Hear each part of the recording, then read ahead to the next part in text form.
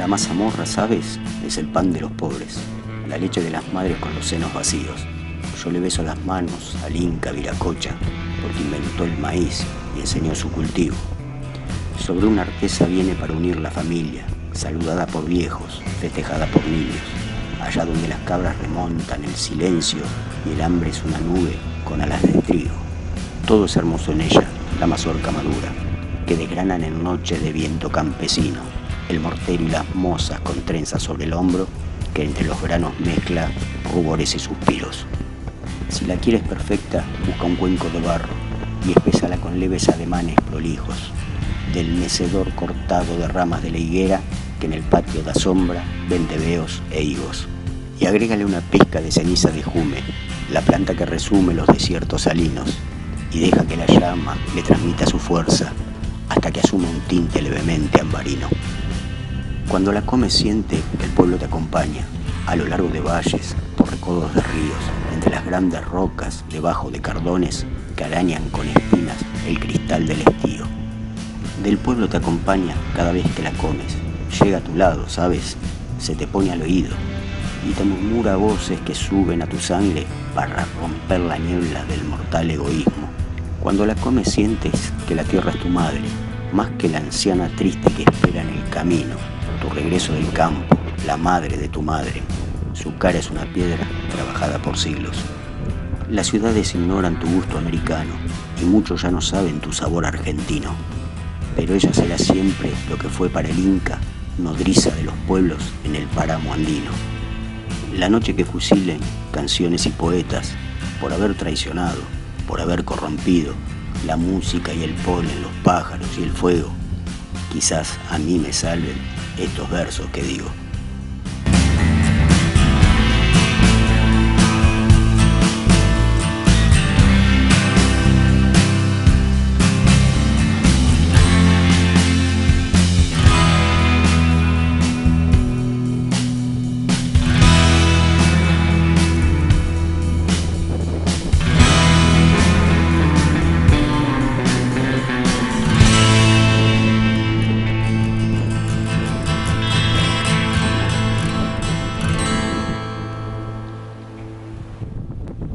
En medio de la serranía sanluiseña se encuentra este dique cuyo nombre conmemora al poeta oriundo de estas tierras, Antonio Esteban Agüero. Este dique construido en materiales sueltos a partir del año 1995 fue inaugurado en el año 1997. En él se embalsan las aguas de los ríos Grande y los manantiales y posee una superficie de lago de 107 hectáreas. Este espacio natural, ideal para actividades recreativas como la pesca, el camping y las caminatas, se encuentra a 7 kilómetros del Trapiche por la ruta provincial 9 y su uso está destinado al consumo humano, riego y ganado.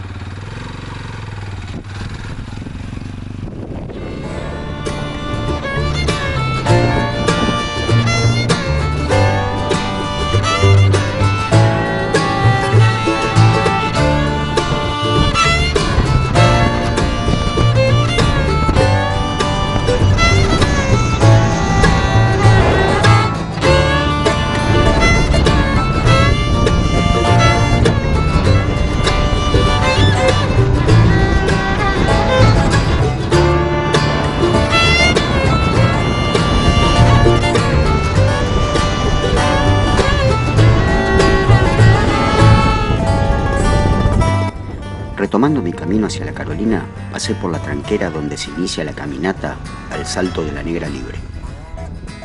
Varias cosas me hicieron desistir de hacer la caminata. La primera fueron los 13 kilómetros por senderos de montaña.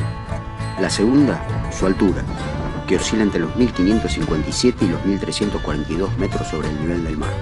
Y la tercera, y fundamental, la tranquera estaba cerrada.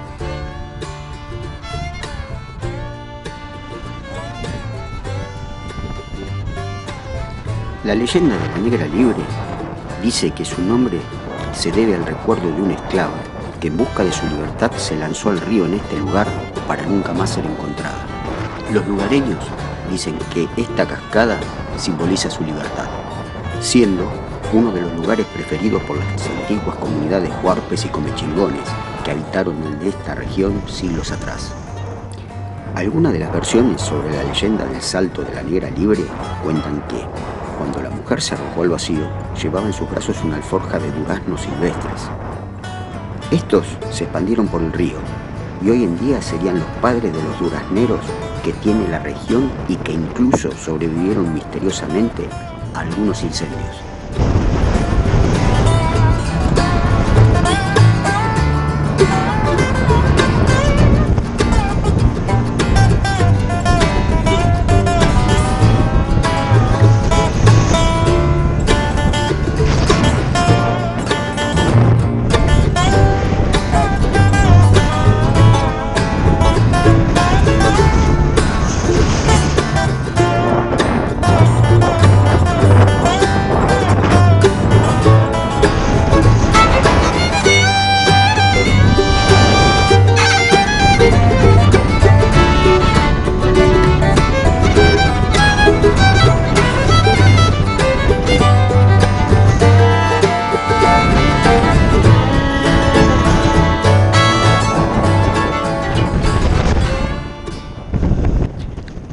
Recorrer estos caminos que se deslizan serpenteante por las cumbres de los cerros, uno se encuentra en total comunidad consigo mismo. Genera charlas mentales, aprovechando la soledad de las rutas. Se interroga y de esas preguntas miles de respuestas crea, se analiza y surgen cientos de factores posibles de esos análisis. Muchos personajes y personas de mi vida viajan conmigo en la moto y son parte de una mental compañía en la tremenda, inmensa, infinita soledad de estos caminos. Pero no siempre uno está totalmente solo. Hay veces que surgen extrañas compañías.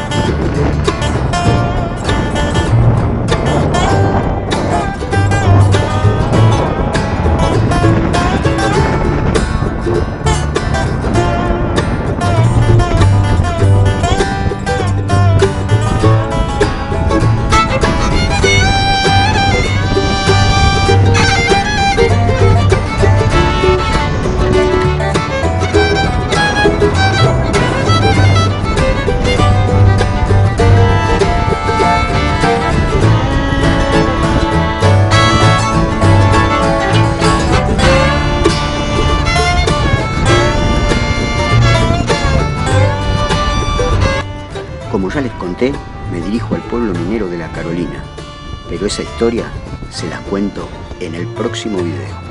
Abrazos, amigos viajeros.